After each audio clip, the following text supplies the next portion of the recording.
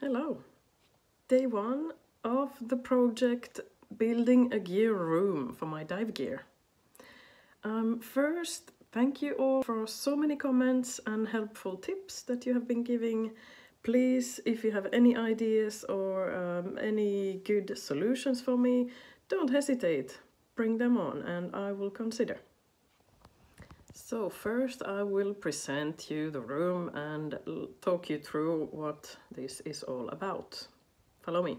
Here is the room of all its messiness.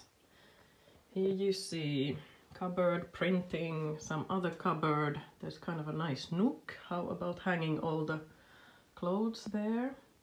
All my dive gear is ready. I was supposed to go this weekend on a diving trip and my flu stopped me from that plan. A little other nook and a cupboard.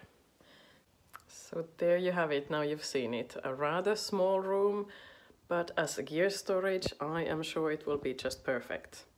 I have some concerns, maybe you know to give me an advice, but there's a wooden parquet floor. I do not want to get any damage on it of the humidity I have a bathroom right next to the, on the other side of the corridor, so perhaps all wet stuff will be there for the first night. But, of course, I think first I will need to clear all the stuff away, the bed, and just tighten it up.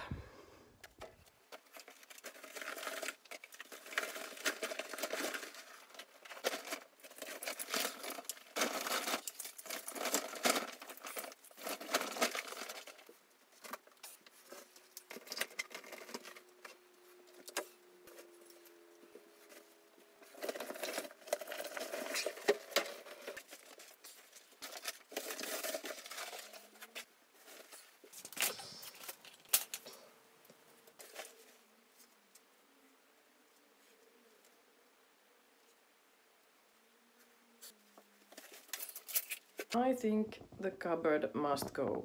I'm thinking to put a bar to hang my clothes. Uh, you know, dry suit, all the undergarment, stuff like that. There, isn't it? Brilliant space. That one.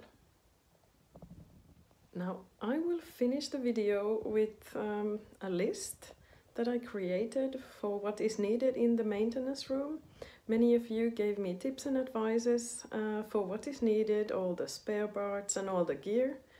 And I'm extremely grateful for that. So if anyone is inspired or wants to take a look of what there is, I will put you a link. And um, feel free to use it if that uh, there's something you might need. Thank you for watching this video. I am looking forward to see you in the next one. Bye!